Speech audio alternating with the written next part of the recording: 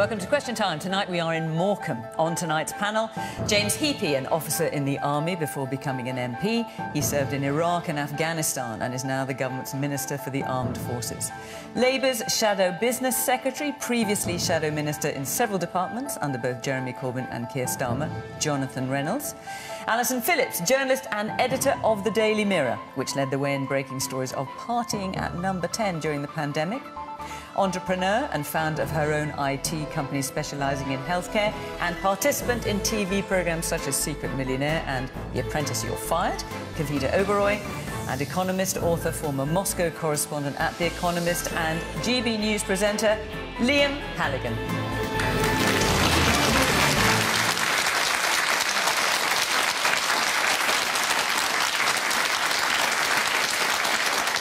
Evening. Welcome to my panel. Welcome to the audience here in Morecambe. Very nice to see you, and very nice to see you at home, of course, as well. Thank you for joining us, and do join in the conversation in the usual way on social media at BBC Question Time.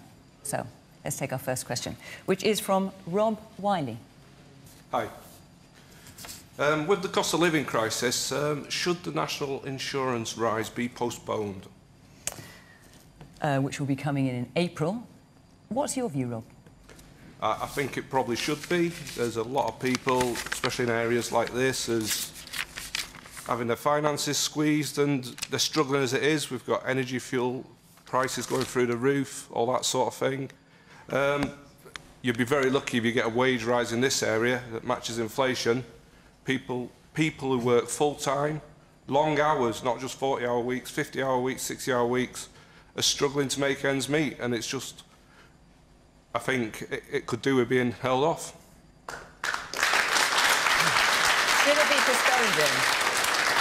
Well, Cabinet uh, agreed to do it, and I think it was the right decision to take, given that the point of it is to raise money that is much needed to uh, both address the iniquity of social care provision in this country and the uh, waiting lists that have built up uh, during the pandemic that we need to address within the NHS. You've got a um, number of Conservative MPs now saying that it should be delayed, not least the head of the Treasury Select Committee, a former minister. Do you think that well, line true. will hold? Well, look, I mean, I think you know, uh, you'll have noticed that the uh, top of the government is in listening mode at the moment, uh, and um, but the cabinet took the decision, uh, and I think that it's important to to recognise that actually, as a tax, it will 40, I think, sort of 50% of the revenue is raised by the top 14% of taxpayers, and there's 6 million people that pay nothing at all. So, um, you know, it isn't the, uh, the blunt instrument that some people have described it as. But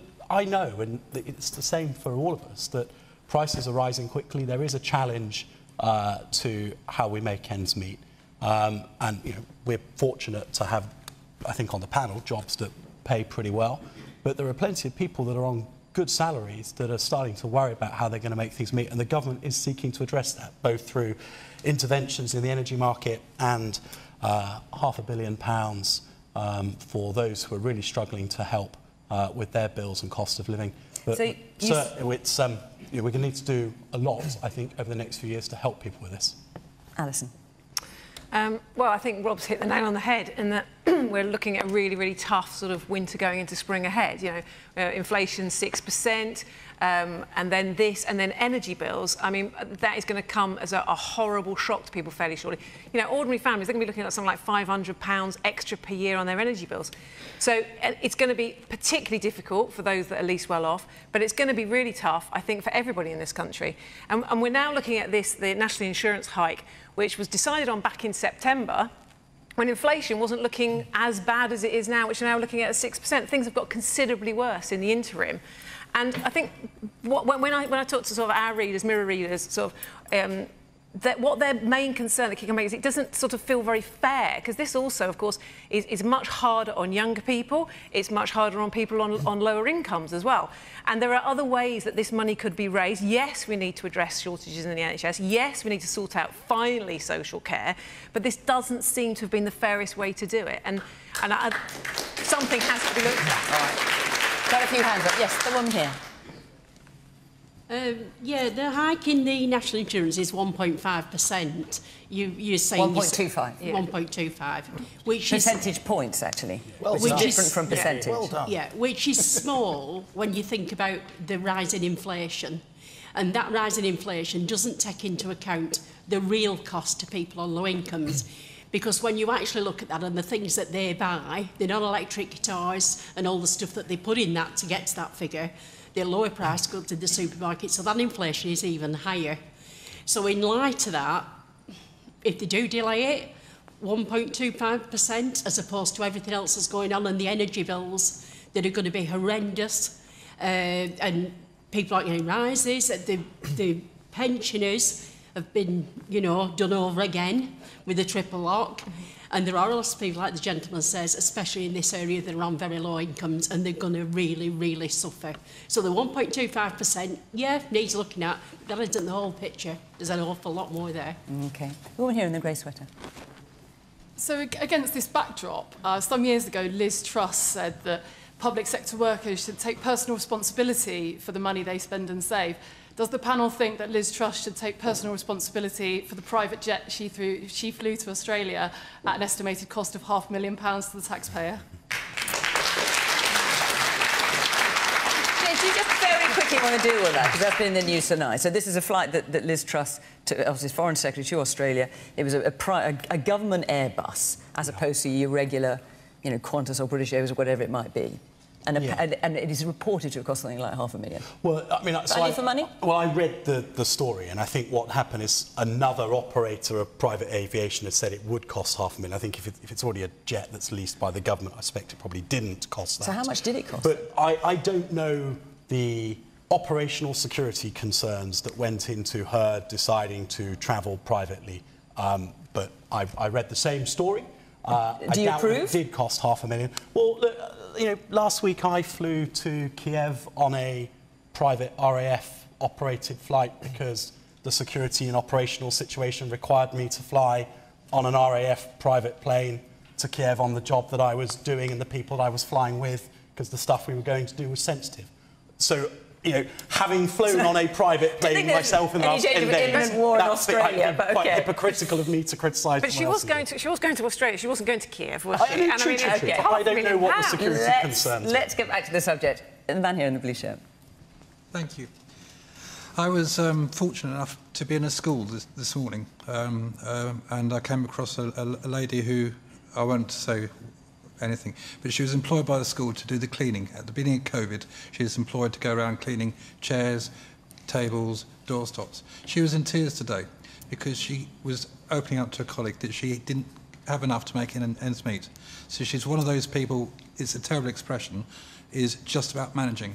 And she hasn't got enough food to put on the table, as well as the energy, as well as the food price increases and national insurance. And she works hard. And you think it should be delayed then, the national Absolutely, I should. I know we've got a, a, a, a huge budget. Okay. All right. Okay, the man here. Yeah, I agree. I think it should be delayed. And if the government are so desperate for money, why did Rishi Sunak write off the furlough debt as quickly as he did? Kavita, obviously this national insurance rise affects employees, but also employers. It does affect uh, employers as well. I mean, I definitely um, agree that it should be delayed, um, you know, especially as the cost of borrowing is lower than expected at the moment. Um, and uh, it affects employers as well. It affects businesses because we're having to pay increased uh, uh, uh, taxes. Um, and businesses have gone through a very tough time over the last couple of years. And again, with the energy rises, I mean, I also run a serviced office business. We've got 20,000 square feet. And it's been absolutely shocking in terms of some of the rises that we've seen just in the last month in terms of our bills. And we can't just go ahead and suddenly start increasing prices. So you're feeling that squeeze all the time. So it impacts everyone. But I absolutely agree that it should be delayed. You're nodding your head there, Jonathan. Oh, I think there's no question it should be delayed. I mean, you've got a situation, and people clearly are already aware of it, where every household in the country, and for pensioners as well, are facing a real terms pay cut. You have a situation in energy bills which is close to unprecedented, the average bill heading towards £2,000. The government needs to help people with those factors, and at the minute, it's actually going to make it worse by putting up the tax this way. You're right to say it's a, it's a, a rise of one and a quarter percentage points. It's actually a 10% rise overall. So it's absolutely the wrong thing to do. But I also But, if, want to if, say... but without, without that increase, so how is the government going to pay for NHS backlog for health and social? Well, Where's the money going to come absolutely That. So the point is, first of all, it doesn't go to social care, and I resent the fact it's been presented that way. It's at least three years, probably never, that it will go to social care. So that, that is deliberately from? misleading. The, the question was, is where, But- but where, yes, where, and where should the money Absolutely. from? And if you're going to raise money this way, and I think you should raise money for the NHS, it's got to be a fair way of doing so. It, it should affect all forms of income. People who get income from property, from shares, as well as working people. It's far too narrow. So a rise in income tax as well? I Is that what I- you're suggesting? I think there's a range of options that are available. It doesn't. It, there's a range of taxes that would raise that revenue. But to do it this way and think people aren't going to realise because it's called national insurance rather than another form of tax, it's, it's playing the public for fools, and I think they're onto it. Woman at the back. Charities have already shown in the last quarter that the use of food banks can't cope anymore. So does this mean children will go to school hungry? Man in the grey jacket. Where we're talking about people struggling financially, when are we going to see some real investment in towns like Morecambe? Um, the woman here with the, with the scarf, yes. Um, you, It needs delaying because um, the, um, the household fund, the 500 million household fund, also runs out on the 31st of March. That came in because of the £20 universal credit was taken away by the government. It's take, take, take. That's another uh, amount of money being taken off of people. I spoke to um, somebody from the uh, Citizens Advice uh, and they've told me that um, the food banks are supposed to be there for emergencies. In Morecambe, every day is an emergency for a lot of families, so you need to sit up and take note. Well, Rob's absolutely right, of course. There is a triple whammy coming in terms of the cost of living. You've got energy bills. The energy price cap's probably going to go up above £2,000. That's for the average household from around 1,200 now. An enormous increase. You've got not just the, these NIC rises coming in in April, but also the freezing of the basic rate tax bracket, which means as we have inflation, more people are dragged into that. And the lady here is exactly right. The CPI, Consumer Price Index inflation measure, is 5.4%. Real inflation is much higher than that. The old RPI that we used to use is 7.2%, and actual inflation, if a big chunk of what you spend is spent on necessities like food and fuel, is much higher. Now, delaying this rise in NICs, let me tell you, it's absolutely possible and makes a lot of sense. Not my words, the words of Professor Jagjit Chadha, who runs the National Institute of Economic and Social Research, the UK's most respected and long-standing economic think tank. He said that on my GB News show this lunchtime. There Which is the a fiscal- marvellous plug for your show, Yeah, But where's, so where's he suggesting the money comes from? we, we, we, we don't get massive state subsidies, so we have to take our chances, Fiona. There is fiscal headroom to do What- this. What a cheap shot. There- Where's he suggesting not- the money comes from three then, Liam? billion pound shot. Liam, where's cheap. he suggesting the money should come from then? He's saying that if you shelve it, you'll get more growth because this is a tax on jobs, as a lot of the audience have said. Paul Johnson, who runs the Institute for Fiscal Studies, you'll hear about them when we row over numbers during election campaigns. Massively respected. He says there is the fiscal headroom to do this. The trouble we've got now is that there is far too much tax, I would say, on people's work, on their labour, particularly at the lower end of the income spectrum. There's not nearly enough taxation, I would say. I like lower, low taxes in general, but we should be taxing more unearned wealth rather than the, the, the, the people's work with their hands, getting up every day with their alarm clocks to go to tough jobs. And I've got huge respect for the Mirror and Alison Phillips. She's a fantastic journalist, and maybe it was a slip of the tongue, but I don't think this cost of living rise is going to be really hard for everybody. I don't think there's going to be a real terms pay cut, Jonathan, with due respect again for every household in the country. A lot of the laptop classes have done really well during lockdown. They're not paying money on trains. It's been cheaper for them. They spent a lot more time working at home because they don't have, they don't work in factories. They don't have customer facing jobs. So I do think there's a case, and I say this you know, with some reservation, but we are now in a situation where I wouldn't be taxing people at the lower end of the income spectrum, basic rate taxpayers raising their national insurance contributions. If we do need more money, I'd get it from growth and also more tax on unearned income. The woman here in the brown sweater. Hi. Um, I earn just above the, the Northwest average wage. I'm a single female with no dependents, but all I ever hear is this will affect families and we will look at a package that will help families and the low paid. And I feel like it's you stand in the corner with your purse open and we'll all dib in and you can have what's left. When is something going to be done for forgotten minorities to include us? We are part of the electorate, we pay our taxes. Woman in the, in the pink and purple top there, yes. Um, I'd just like to point out that this very building that we're in, up until last summer, was the food bank. This hall, you can see how big it is, was stuffed with food, and that was in July. um, it then moved out to another building somewhere else. But the point is, the need has gone up. So can you imagine this place was filled with food for the food families um, of Morecambe? This is what they needed. And that was before this major crisis hit. It has got significantly worse. And we're not talking about people who are sitting there with their hands out waiting for free food. They are people who are generally working. The majority of our clients in those days were working. Woman here in the.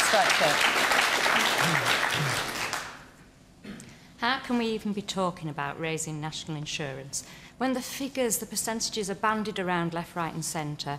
And as you were speaking about, we're, we're talking about this huge raise in inflation and at 5.4% I think you mentioned, but the lived experience of people exactly. here doesn't mm. sound anything like that number. If we're going to start asking the public to pay more, shouldn't all the figures that we use be accurately assessed and credible? Because people will do things and support things if they know they're based on a true assessment of the facts, and that inflationary figure does not represent what people here are feeling. So James, you're not getting a lot of support in the room for the national insurance. Uh. I think it's a fair summation uh, of, of what I'm hearing. You said the government's in listening mode, which I think is you softening us up for saying it may well, in fact, get delayed after all. If you were a betting man, would you say it's going to get delayed? I, I, look, I, I'm not going to, to go there because it's not for me to say, and I'm not privy to the conversations. Um, but I mean, it wasn't. I don't think. I don't think there's a majority. I think it is absolute. Everybody in the room is is against it. Everybody in the room is Is that feeling fair? the squeeze. Are you all against it? Yeah. Um, everybody at home is, is feeling the squeeze. You know, what I hear here in Lancashire, I hear in Somerset too. Um, I think So why go government- through Well, well, I think government is looking at what other interventions it can make. I think that, that the tone of what we've been hearing so far is that whereas Labour have, say, cut VAT on fuel, which actually is a value-added tax and therefore people with the biggest heating bills make the biggest saving, government's been saying, well, let's make a more targeted intervention. Don't accept that. Well, uh, don't accept it, No, I but, but that is that but the tone of what government has been saying if- so far has been around If more your energy targeted bill is a massive part of what you it spend every week, 5% off your energy bill is a very big deal, James. I, I'm not disputing that, but the point is, is that I think the government has been looking, instead of universal measures, at actually things that target those who are most hard pressed. Now, debate whether or not that's the right approach.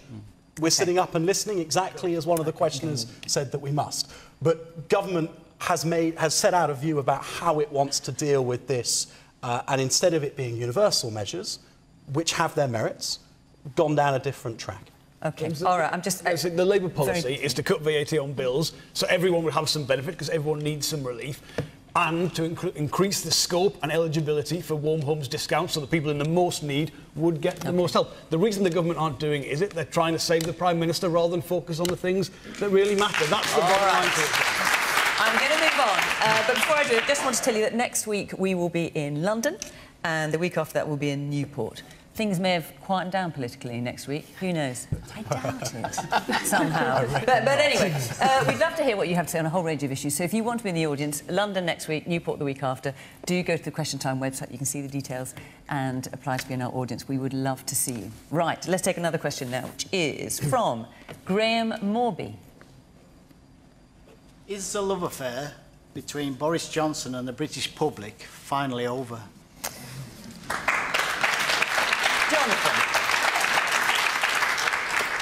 Graham, some of us didn't love him that much to begin with, but um, I- I acknowledge he was always a difficult opponent. I mean, look, for me, the thing with Boris Johnson is if he told me it was raining, I would go outside and check. And I think that is the problem with everything that he does. And look,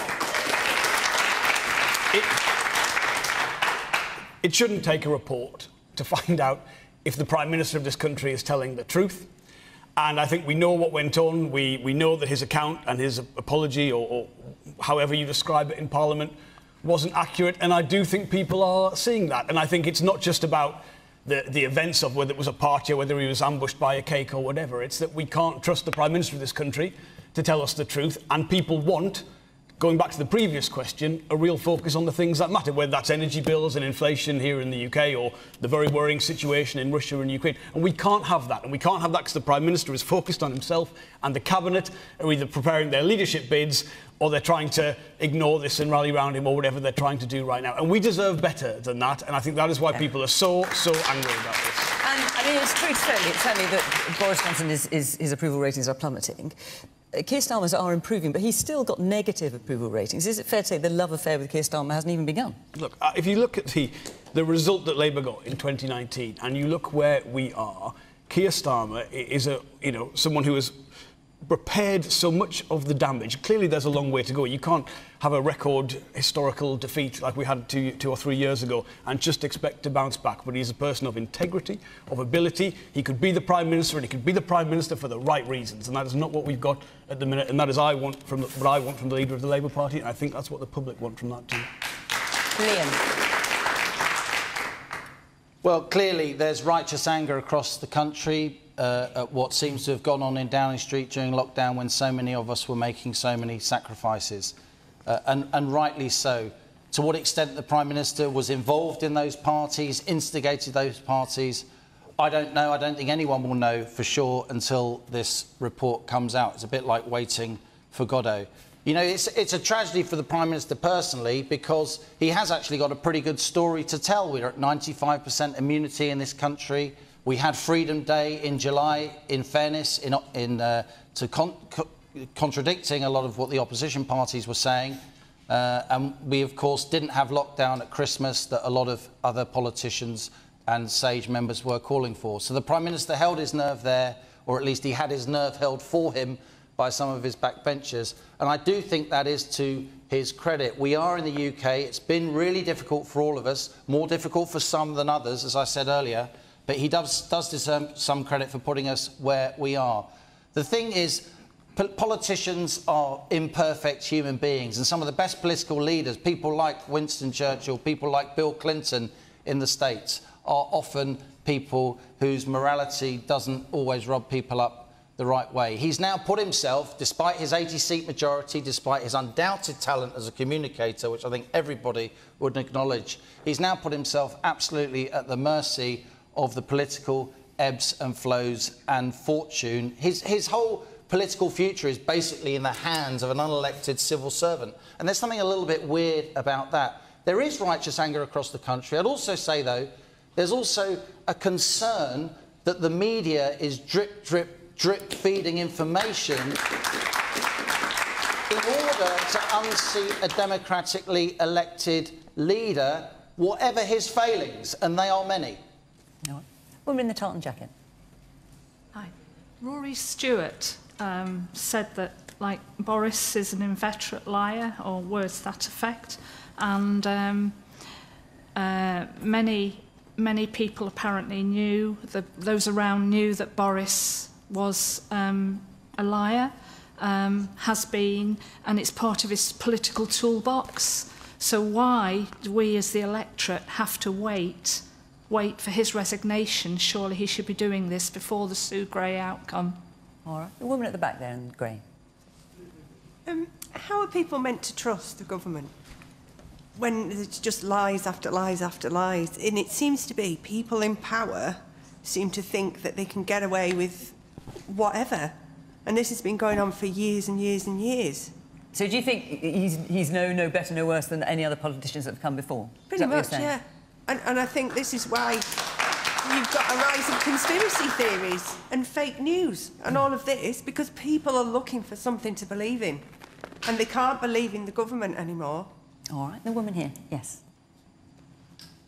There is no credible alternative, though. When is Labour going to give us credible alternative to the Conservatives again? I will come back to you. James Is the love affair between Boris Johnson and the British public finally over? It's under a lot of strain.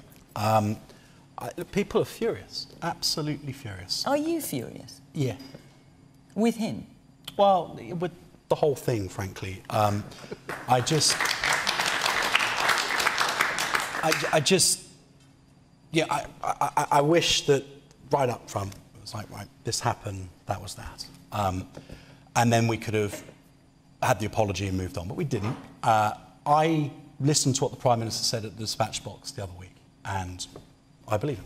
Uh, Which bit? Which bit are you referring to that he said? Well- I don't, I'm, sorry, I'm not, not trying to be facetious. Which bit do you, did you believe? Well, I, I believe that. I, I mean, I think that the thing that came out about the ambush with the cake, I, I don't know that that's um, that, that that's quite as egregious as everybody says. I mean, I think if he's kind of working and people come into a room with a cake, that's not exactly his fault. Um, but the, the, the, the two things that I think have really cut through, three things. Um, the video of the Downing Street staff, he was right to get out and apologise very, very quickly for that because people across the country were furious. Um, the, the events that happened uh, before, on the eve of the funeral of the Duke of Edinburgh, people were really angry about that, and he was right to get out and apologise. And then the one that allegedly involved him, the event outside in the, in the garden. I mean, I, I spent some time as his parliamentary private secretary, so his sort of bag carrier, if you like. And you know, the guy, all prime ministers lead an extraordinary existence. They kind of sit there and people come in, they quickly pre-brief them for what's next, and that meeting happens, and you bounce from issue to issue to issue. And I, on occasion, was that person who came in and said, Right, Prime Minister, out in the garden, we've got some people from wherever, you're going to go out, say hello, this is what's going to happen. You've, there's, it's sort of from his study to the garden is a 30 second walk. So it makes sense to me that what he said, that as he was going downstairs, he didn't know what he was going to. Uh, he was sorry that on reflection he didn't shut it down straight away. I heard him say that at the dispatch box, and I accepted that. Lots and lots of people in my constituency and around the country don't want to accept that, and that's why waiting for Sue Gray's report is necessary and important. But just if I may, Jonathan said that the problem is, is this is a big distraction. Well, let me tell you, ladies and gentlemen, since this story broke, the Partygate thing, um, Omicron came, and I was sat in meeting after meeting after meeting over Christmas in which the Prime Minister was laser like focused on the booster campaign. In the last few weeks, we've seen the biggest buildup of troops on the European continent since 1945.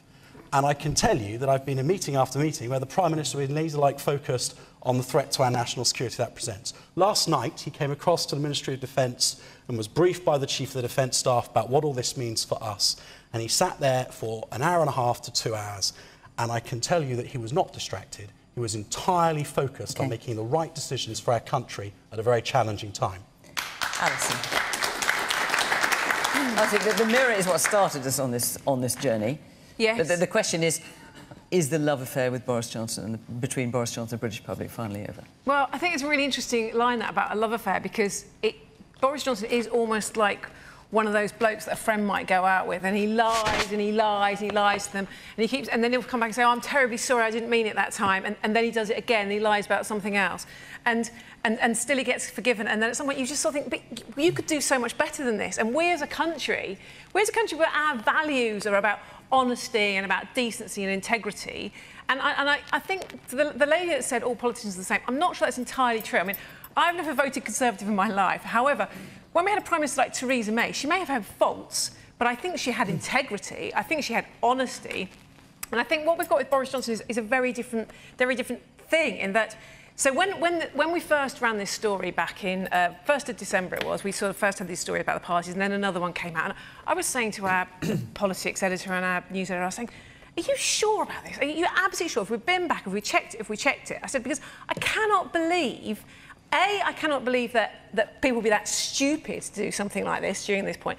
And, and, and B, but, but, but, but what about, we were all, we were all sat at home, we were, every, everyone, no one was doing anything like this. No one I know was doing anything like this. And so do they think they're on some higher plane to the rest of us? And of course, this all came on the back of... this, this came on the back of, like, last year, was it last year, that, we'd, we'd, broken the story about Dominic Cummings going to Barnard Castle. Again, at the time we thought, I ca- I can't believe this. Nobody I know is going out the front door, let alone going to Barnard Castle. And, um, but, and we can understand, then we can understand why would Boris Johnson stand by this man. But of course, it was obvious why he was standing by this man because they were all at it all the time, breaking the rules. And it does matter because these, those who make the rules have to live by the rules. And it's about our democracy is based on trust and decency and honesty. And if we can't trust, if we can't trust the Prime Minister, it gets it just all falls apart. It's like any relationship. If, if you can't trust the person you're talking to, becomes dysfunctional. So, so now we've had this situation with Pen Farthing, the guy who brought all the, came back with all the dogs and cats, haven't we? And you look at that and you think, well, there's about six or seven emails now which would indicate that, that they were put at the front of the list and the, and the Prime Minister did put them. And he's still saying today, oh, this is, what was the word he used? Rhubarb. I mean, I mean, just the use of the word, it's like it's in some sort of Just William sort of play rather than actually running the country. So Cartoon character, Rhubarb, Rhubarb and yeah.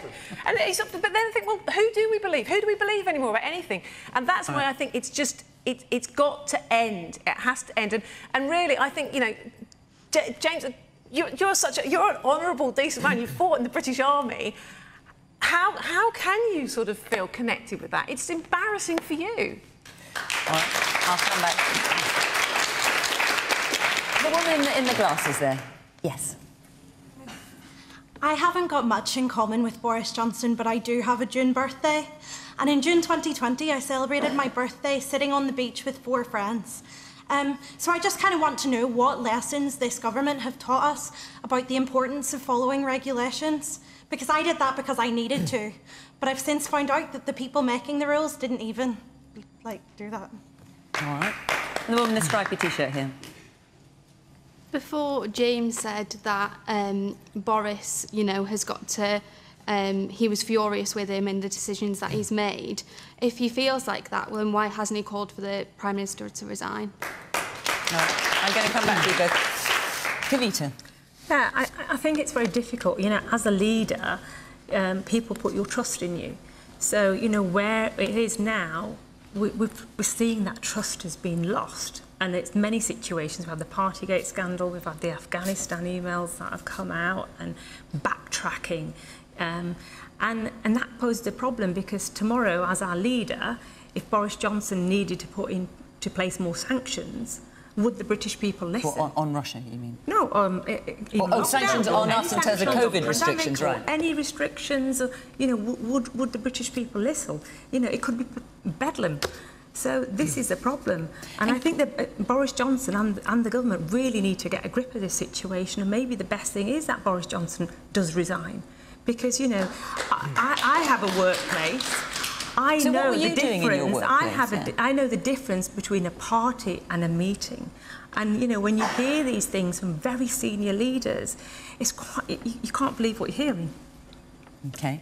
Um, I'm going to come back to you both. So, Jonathan, the point from, from the, the woman there that, that she might not be too happy with what the government's saying, but, but Labour's not cutting it for her either. Yeah, so I would say directly to you, I've been a member of Parliament for 11 years. I've been in opposition for the entirety of that time. I've lost four general elections in a row whilst obviously winning my own seat. So I have the humility to know, yes, we, keep, we can't just rely on the government falling apart. We've got to do more, and we are doing more to win your trust. But how do we do that? You demonstrate it, you don't just say it. So go back to the, the question about energy. We put forward a plan. Everyone here would take at least £200 off their energy bill, and for those people who hit the most, it would be £600. And how would we do that? We'd do that through a windfall tax on the North Sea oil and gas producers. So we've got a clear view of how we would pay for that too.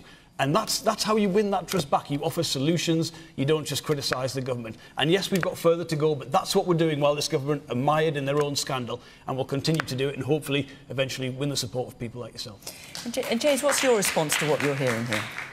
Well, firstly, if you win trust by delivering, and the government is delivering in spades, there is uh, the, the vaccine campaign and the way that this country is emerging from the pandemic is world leading. Uh, we are leading. We have, still, in- we have got the we are highest leading, death toll in we are- Europe and one of we the are- highest in the world. We are leading. Not per head. We are leading Not per on head, no. one of the greatest geopolitical challenges of our time. There are more people in work and more vacancies for work than ever before. So you know, actually these things haven't happened by accident. These things have happened by good decisions made by But you the hear- Prime you hear what And the lady audience over here there is saying, said- though, Well, the lady over there said, how can you be furious and then serve on? I mean, all I says I'm furious with the whole thing. I mean, there are things that... Well, she's saying, how can you be furious that- and not want him to resign? Because there are things that have happened that I don't think the Prime Minister is culpable for. But I think it is right that he has apologised for because they happened within But it is a number cultural 10. thing. And then just finally on, um, on the Afghanistan Nowzad thing. Uh, Should, should we just explain? So this is, uh, for, for those who may not be aware, there's a chap called Pen Farthing who ran an animal rescue shelter in Kabul, I think it was, in Afghanistan. At any rate, he was campaigning to get his, his animals out. There was quite a, a publicity campaign around that. In end, he did get his animals out. Emails have emerged which suggest uh, emails leaked from the Foreign Office, I believe, which suggests that the Prime Minister authorised that. The Prime Minister's absolutely categorically denied that. So the Royal Air Force deploys and undertakes missions through one route only, and that is from the Prime Minister through the Secretary of State Defence to the Chief of the Defence Staff to the Royal Air Force. The Prime Minister did not at any point tell the Secretary of State for Defence or the CDS or anybody else in the MOD that he wanted any course of action whatsoever taken with regard to Pen Farthing's animals. And But could he have told the problem anyone now, else? The problem now is, though, because, because we don't trust him, because all the other stuff has gone on, we don't trust... That may well be true. That, what you say may well be true. But we, we don't trust the Prime Minister anymore because of all the other stuff that we know he's lied about. And Some people the still. You can't say problem. we. You can't speak for the whole country with all respect. I know, Alison. but I think a lot that- of the well, people if want to give him the benefit of the doubt. A lot of people are sick of journalists trying to unseat him. But, well, I mean, I, I also don't... I, I, that, that's the You, problem. but you can't say we don't trust the prime minister because Okay. some people still. But we'll tell you what, hang on, Alison. Alison, hang on one second, because there's a woman there who applauded that point. So let's hear from you. Are you one of those people who's sick of it? No, I'm not sick of him. I'm No, sick of it, sick of it, I'm sick of it. I'm sick of the journalists. I'm sick of the media. You, you said yourself right at the beginning that you've never voted Conservative. Yeah. So straight away, you're going to go gunning, but- aren't but you? first, no, no, first and foremost... If that was a party... Yes. Then don't invite me because I won't be bothered putting lipstick on to go to it. and yes, I can see the difference between a work meeting and a party. And that wasn't a party. Which one are you referring to? The, the one where they're out on the terrace. Those people were working together, and you're exactly right with what you're saying. You're he's told where to go. He's, he's briefed and told, and he'll just go and walk into situations. All this rubbish, absolute nonsense about parties, this, dogs, this, something else. Can you not see we've got a major things happening on a job. We could be on the step of a third world war. Yes. And you're talking about cheese and wine. All right, well, on that But note... we have got the police investigating it as well, Oh, remember, yeah, as well. good. Right, right. yeah. On... You're definitely not going to finish that one over there, I can tell you. On that note, let's take another question from Helen. Helen Johnson, where are you? Ah, there you go. Um, what are the implications for the UK if Russia invades Ukraine and should we get involved? So there you are. We are dealing with that issue. That was a question that a number of you asked. Liam, uh, you were a former man in Moscow for The Economist. Yeah, I spent I spent a lot of my adult life living, working in Moscow, journalist, academic, variety of consultancy roles and so on. I mean, if you we're right to be concerned and we're right to be focusing on this and thank you very much for your question. I think along with the cost of living crisis, uh, it is second to the cost of living crisis of what we should be thinking about, but it is second in what we should be thinking about. I, I look at the Russian press, I look at the Ukrainian press. While, of course, um, Russia is an extremely capable military power uh, and a pretty important economy, by the way, um, I don't see the population being prepared for some kind of attack on Ukraine, for some kind of invasion.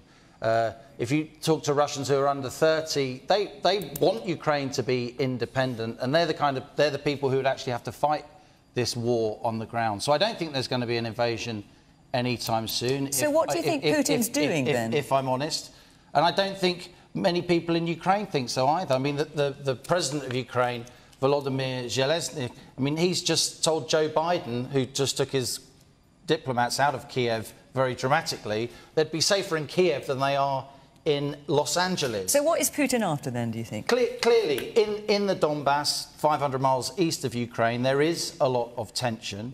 Uh, and I think people like James, our armed forces in general, for whom I have a great deal of respect, are right to be preparing and to be saying what they're saying. But if you go back to the mid 90s when I was living and working in Russia full time, one of the time periods I spent there, you had people like George Kennan. George Kennan was the diplomat historian, the architect of America's post war foreign policy, the architect of Soviet containment. He said that expanding NATO was a, a fatal mistake. And I'm not saying that Poland shouldn't have joined NATO and the Eastern European countries shouldn't have joined NATO. But if you expand, try to expand NATO right up to the borders of a really big geostrategically important country of 11 time zones, then you are going to get a reaction. And what you will do is you will empower anti internationalist forces in Russia, nationalist forces in Russia, people who are a lot more nasty than Vladimir Putin, by the way. And so if we are going to diffuse this situation, and we need to, Russia's the biggest energy exporter in the world. It's the biggest wheat exporter in the world. U Ukraine's the third biggest corn exporter in the world. This is really important for the cost of living crisis. If you are going to diffuse the situation, as well as preparing and standing up to forces that you think are unjust, you also sometimes in politics and diplomacy and journalism have to demonstrate nuance, turn the telescope around, try and look at it from another country's perspective. And from the perspective of a lot of Russian people, I'll get slammed for saying this, but I know it's true.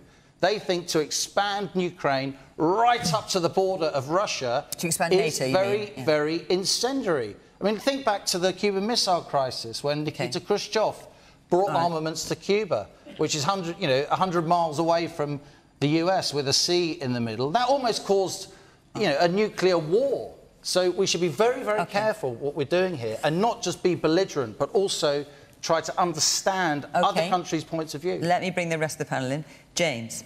Uh, a, a, to what Liam is saying, but also the question is what are the implications for the UK if Russia does attract Ukraine and should we get involved? So I could talk for a week on it, so give me a kick. Yeah, when, definitely don't yeah, do exactly. that. Um, so why, why should we get involved? Why does it matter? Well, I think that, first of all, just to be absolutely clear, nobody is talking about British troops being on the ground involved in any sort of conflict with Russia. Just so everybody's clear on that.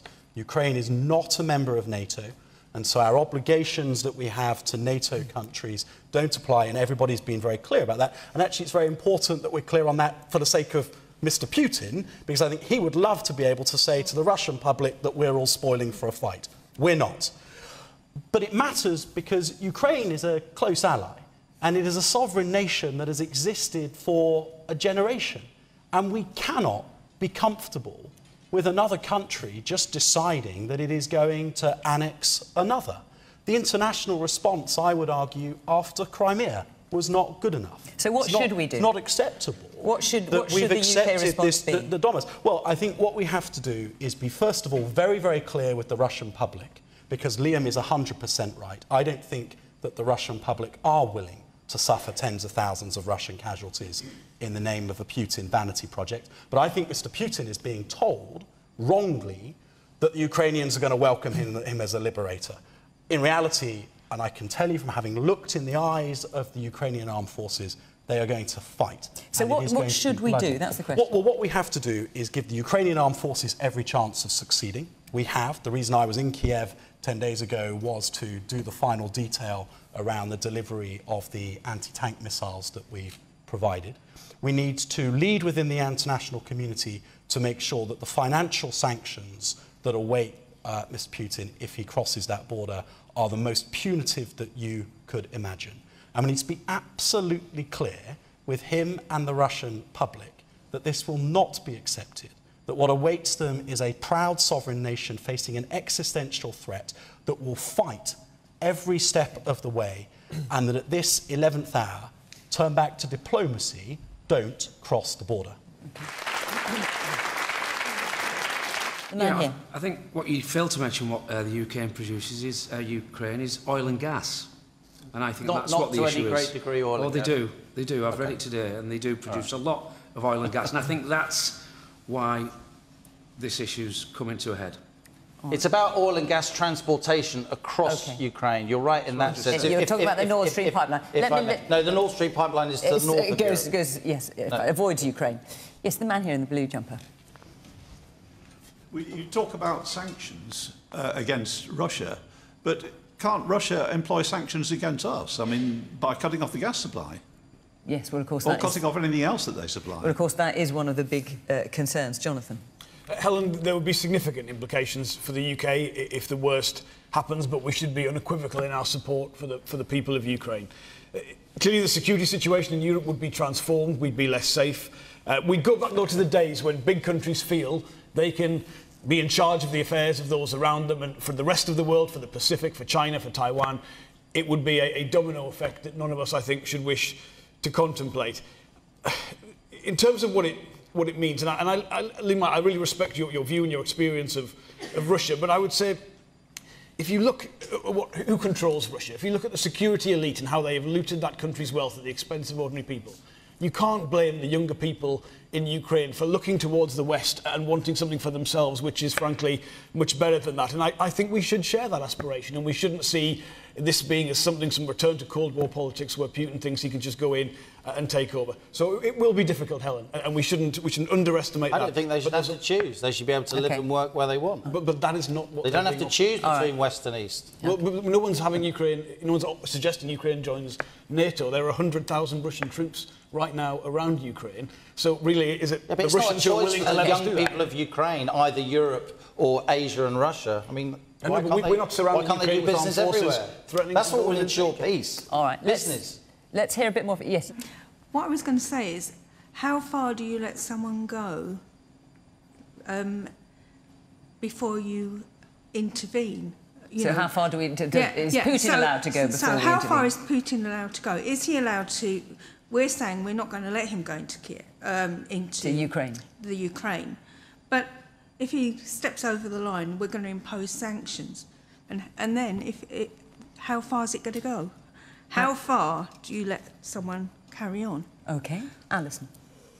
Well, I mean, you're absolutely right. I mean, Putin's clearly had his sights on recreating a sort of Soviet-style empire for many, many years, and he's also done a pretty good job of like destabilising other countries across Western Europe as well. And you know, we, we poison people on British soil. So he's a nasty little bully, is exactly what he is.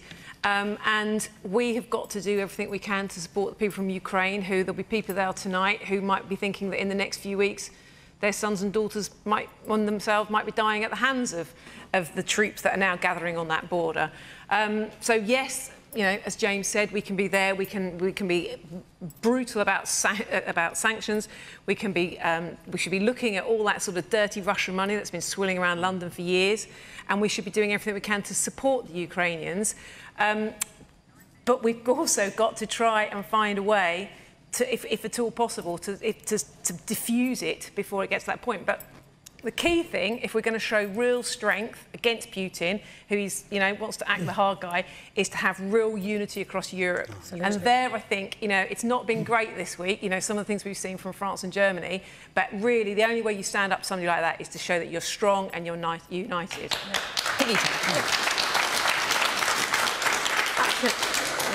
Absolutely, I absolutely agree. You know, you've got a bully there, and the West has to show that they are united because it could have serious implications. You've got economic um, implications. Uh, you know, 40% of the gas going from Russia and does go through Ukraine. Um, and then you've got the human um, cost, you know, uh, innocent Ukrainian lives. So we have to support uh, Ukraine um, and we have to um, mobilize the Ukrainian troops um, through training and however we can to support them because it's a big implication. Um, but he, he- he's got to understand that you know the West are united and will pose sanctions because he is an absolute bully and that we are serious and that's the only way to stand up to something like this. So you know we have to support the Ukrainians. Okay, let's take a final question from Fiona Walkington. Um, in 2015, David Cameron and George Osborne visited Morecambe and extolled the Northern powerhouse. The current Prime Minister talks about levelling up. When will the North-South divide finally be addressed? And you're asking this question, Fiona, how does it feel for you?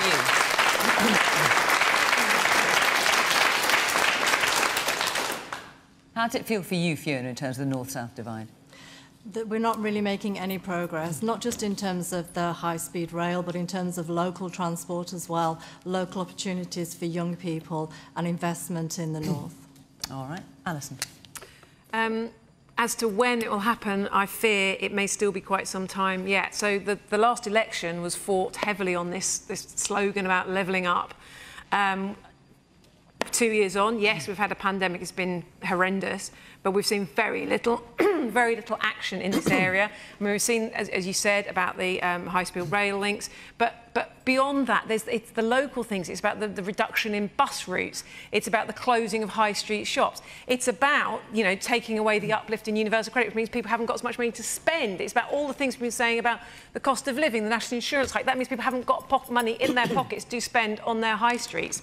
It's endless, the number of things, and it's this drip, drip, drip. I mean, even this week there was a story that came out about for every one job that's created in the north, three jobs are created in London and the South East. So it kind of feels almost that we're going in reverse. And I think this government now has to sort of on so many things that think slogans are not enough. People want to see action because they deserve action. This is a fantastic town. You've got great people, great opportunities, but there's got to be the support, the infrastructure, the working with private investment to get businesses to move here, to actually use all those talents that are here so that it can thrive. And that's what people need to see. We'll need to be reasonably brief. You haven't got a lot of time. There's the man at the back. So you've got um, You've got the Eden Project North that's planning permissions about to get put in for that. It's going to need government funding. About 70 million, I think, is the figure. A lot of money in other places. Should it be coming to Morecambe, it's going to have a great boost for the area economically. Okay. For a long, long time to come. It will really uplift the area. Is the government going to fund it? I'm sure you've done your swatting up on the local area, James. I was tipped off about Eden North. I'm afraid I haven't come with good news. That doesn't mean there's bad news. It just means that I don't think the decision's been made. Um, do you want me to answer the rest of the question? Sure. Yeah.